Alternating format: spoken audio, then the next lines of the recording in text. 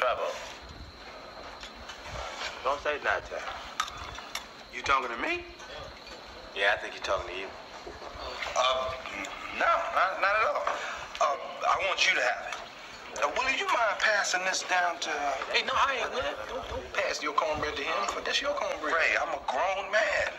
I'm not gonna eat this cornbread if he wants the cornbread, damn it. Have the Done now. If he wants some cornbread, let him go up to the front and get his own portion of cornbread. That's your cornbread. Fuck him. Hey, man, he gonna eat his cornbread, all right? Fuck you. Ray, look, I don't, I don't need you to, to, to take up for me. I'm all right. I'm a, I'm a grown man. I can handle it. You let him have your cornbread, You're gonna be ironing his drawers and clipping his toenails. I know niggas.